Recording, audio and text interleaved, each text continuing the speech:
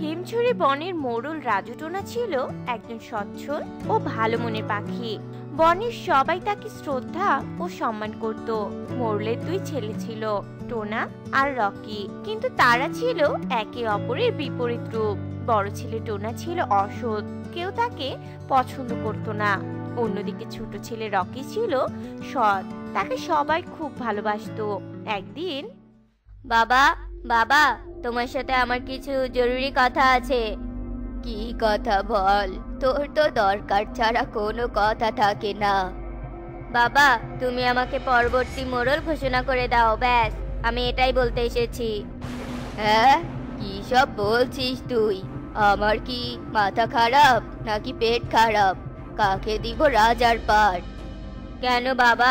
আমি তোমার বড় ছেলে। তোমার পরে একমাত্র আমারই অধিকার আছে মোড়ল হওয়ার। শোন বাবা, চাইলেই সব কিছু পাওয়া যায় না। আমি মোড়ল হয়েছি, কারণ বনের পাখিরা আমার নির্বাচন করেছে। এটা আমার সম্পত্তি নয়, যে তুই চাইলেই পেয়ে যাবি। থাক বাবা, আর সাফাই গাইতে হবে না। আমি বুঝেছি, তুমি কখনোই আমার জন্য কিছু করবে না। না করব না কারণ মোড়ল হওয়ার যোগ্যতা তোর নেই। মোড়ল হতে গেলে অনেক দায়িত্ব কর্তব্য পালন করতে হয় যা তুই কখনোই করতে পারবি না। করবে কেন? রকি বলে ঠিকই করতে। হারামজাদা চুপ কর। জীবনে কিছু করতে হলে নিজের ক্ষমতায় কর। আর যদি রকির কথা বলিস তাহলে শুনে রাখ ও কখনোই তোর মতো এমন অন্যায় আবদার করতো না। দূর দূর না থাকলাম আর এই বাড়িতে যত সব। মন খারাপ করো না বাবা রাগ কমে গেলে দাদা ঠিক বাড়িতে ফিরে আসবে। কিরে বন্ধু মন খারাপ করে বসে আছিস কেন? ঘটনাটা কি রে? দূর বেটা চুপ থাক। মেজাজ অনেক গরম আছে। শালা আমার যদি অনেক টাকা থাকতো না বাপ ভাইকে পুরো দেখিয়ে দিতাম। এসব বলে কোনো লাভ নেই। তোকে কতবার বলেছি, আমার সাথে থেকে সবকিছু শিখে নে। আরে আমার সঙ্গ দিলে একদিন তুই টাকা সাম্রাজ্য করতে পারতি, বুঝেছিস? বলছিস কি, তাই নাকি? আরে ভাই, একবার আমার কাজে যুক্ত হয়েই দেখ না। কালু কাকের স্বভাব একদম ভালো ছিল না। টোনার মাথায় কুবুদ্ধি সে ঢোকাতে থাকে। অন্যদিকে বন্ধু আর কদিন পরেই শীত চলে আসবে। বনের গরিব দুস্থ পাখিদের শীতের বস্ত্র বিতরণের ব্যবস্থা করতে হবে। হ্যাঁ রে বন্ধু এটা আমিও ভেবেছি। আমি কিছু টাকা জমিয়েছি। তোর কি অবস্থা? সমস্যা নেই আমার হাতেও কিছু টাকা আছে। তাহলে চল শহরে গিয়ে একদিন না হয় শীত বস্ত্র কিনে আনব। ঠিক আছে বন্ধু। শোনতো না, এবার আমরা এই চাল ফুটো করেই ভিতরে ঢুকবো, আর তারপর আসল খেল দেখাবো। আরে, যদি ধরা পড়ে যায়, তাহলে কি হবে ভাবতে পারছিস?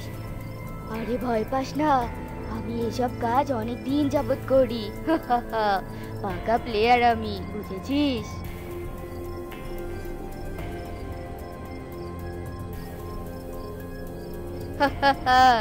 দেখ বন্ধু, কত টাকা বিনা পরিশ্রমে আমরা কতগুলো টাকার মালিক হতে পারলাম।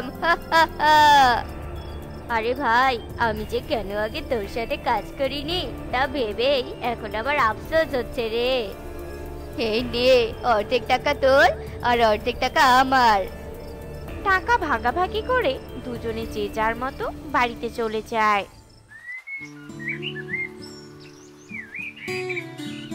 কি গো? তুমি এত অস্থির হয়ে আছো কেন? কি এত ভাবছ গো? কি আর ভাববো গিন্নি? ছেলেটাকে কাল বকেছি বলে ওই যে রাগ করে বেরিয়ে গেল আর তো এলো না।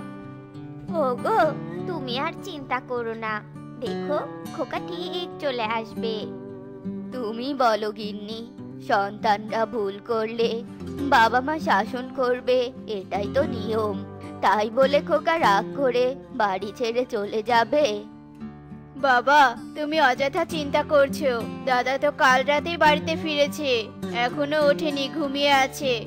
বলেছিলাম না বাবা, রাগ কমলে দাদা ঠিক ফিরে আসবে, ফিরে এসেছে।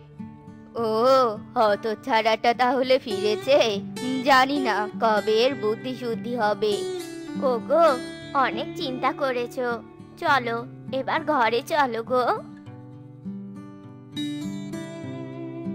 বাবা মা দাদার জন্য কত চিন্তা করে। ইস দাদা যদি একটু বুঝতো তাহলে এভাবে বাবা মাকে কষ্ট দিত না।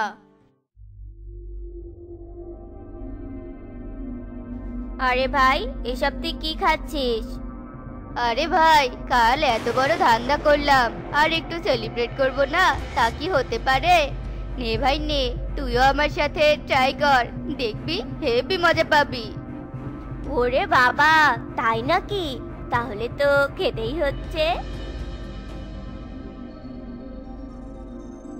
আরে ভাই, এই জিনিস আমায় আগে কেন খাওয়াসনি রে? এটা খেয়ে আমি তো পুরো চাঙ্গায় উঠে গেলাম রে। চিন্তা করিস না ভাই, আজ থেকে আমরা রোজ খাব। এরপর দুজনে মদ খেতে খেতে মাতাল হয়ে পড়ে যায়। আর এইভাবেই কেটে যায় সেই দিনটি। টোনা এত রাত কোথায় ছিলি? এ কি? তোর শরীর থেকে এমন গন্ধ বের হচ্ছে কেন? বড় খোকা তুই মদ খেয়েছিস?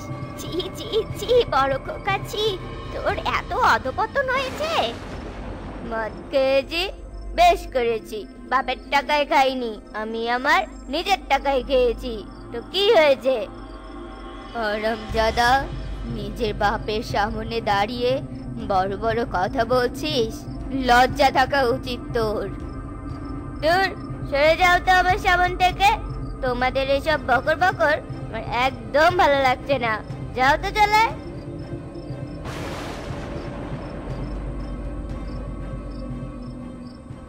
গিন্নি আজ আমি পরাজিত।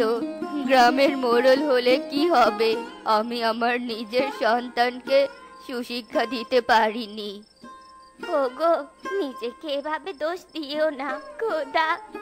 তুমি আমার ছেলেটার সুবুদ্ধি দাও সুবুদ্ধি দাও। বাবা মা তোমরা কেঁদো না।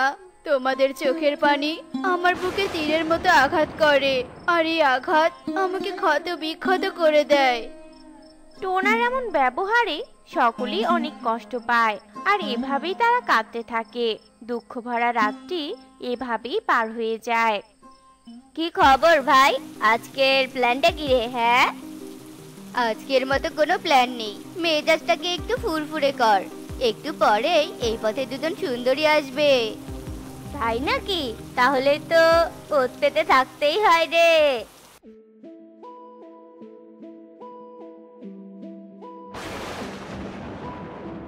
এ কি? তোমরা এভাবে আমাদের পথ আটকেলে কেন? কেউ দেখে ফেলে কি ভাববে? এই, পথ ছাড়ুন ছাড়ুন বলছি। পথ ছাড়ার জন্য তো পথ আটকে দাঁড়ায়নি গো সুন্দরী। তোমায় দেখলেই মনে হয়। হাজার বছর তোমার সাথে ছিল পরিচয় গো, ছিল পরিচয়। আরে দোস্ত, এ তো পুরো কাঁপিয়ে দিল রে। টোনা দাদা, তোমরা যদি পথ না ছাড়ো, তাহলে আমি কিন্তু তোমার বাবাকে সবকিছু বলে দিব। এই রে, কেলো করেছে। সত্যি সত্যি যদি বাবাকে বলে দেয়। আমার গালে থাপ্পড় মারা এর প্রতিশোধ একদিন আমি নিয়ে ছাড়বো। এই তো না চল।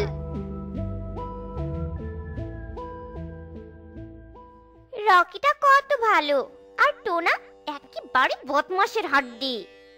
ঠিক কথাই বলেছিস রে এরা হচ্ছে বাবা মায়ের বিগড়ে যাওয়া সন্তান। জানি না এদের বাবা মা কি শিক্ষা দিয়েছে এদের। চল টুনি দেরি হয়ে যাচ্ছে। এই তো না একটা জবর খবর আছে রে। কি খবর রে ভাই? আরে, আমাদের রেনু চাচি আছে না। ওনার মেয়ে মুন্নির বিয়ে। শুনেছি মুন্নির মামা মুন্নির বিয়েতে নাকি দশ ভরি স্বর্ণালঙ্কার দিয়েছে। আর মুন্নির মা সেগুলো আনতে গেছে। দশ ভরি স্বর্ণালঙ্কার?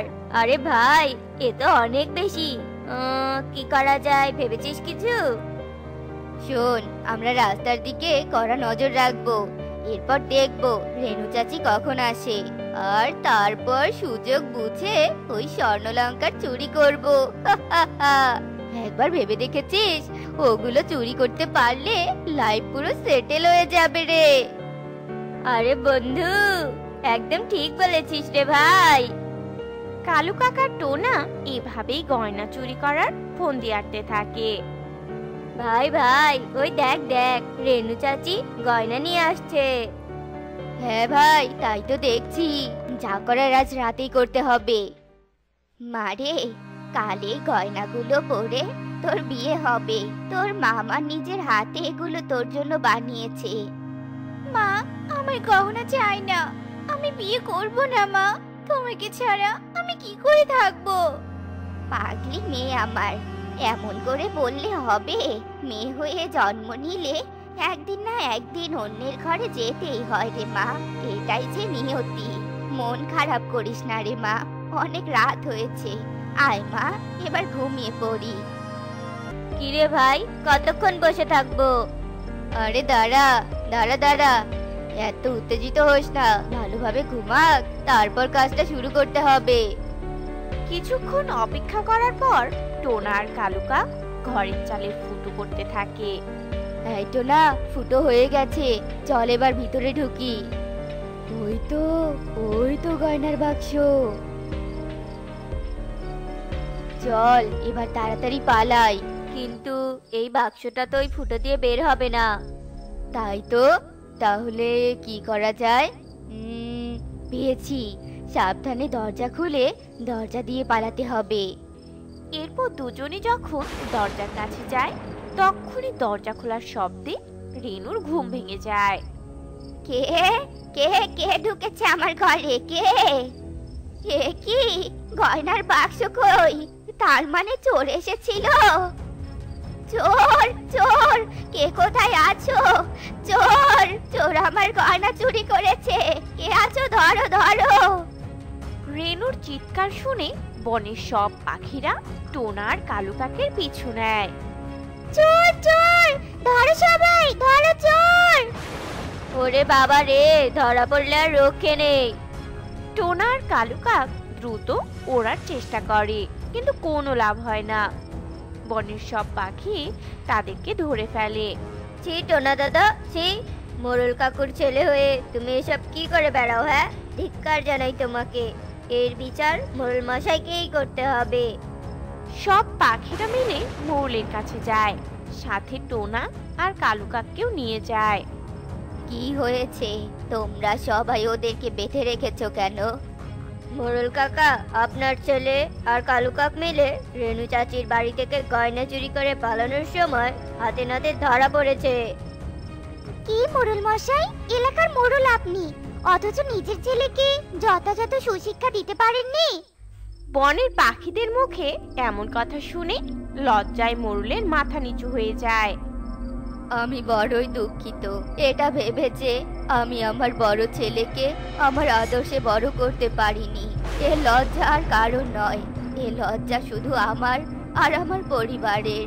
তোমরা নিশ্চিন্তে থাকো। ও আমার ছেলে হলেও ওকে আমি দয়া দেখাবো না। ওর পাপের শাস্তি ওকে পেতেই হবে। আমি ওদের দুজনকেই পুলিশে দিব। বাবা বাবা, আমি তো আমার নিজের ছেলে। আমার সাথে তুমি এমন করতে পারো না, বাবা। তুই আমার সন্তান হতে পারিস, কিন্তু তুই পাপ করেছিস। তুই একটা পাপি, আর কোনো পাপিকে আমি সন্তান বলে মানি না। একটা কথা সবাই শুনে রাখো, সৎ সঙ্গে স্বর্গবাস, আর অসৎ সঙ্গে সর্বনাশ। আজ টোনারও সেই অবস্থা হয়েছে। তো বন্ধুরা আমাদের আজকের গল্পটি তোমাদের কাছে কেমন লেগেছে কমেন্টে জানাতে ভুলো না কিন্তু।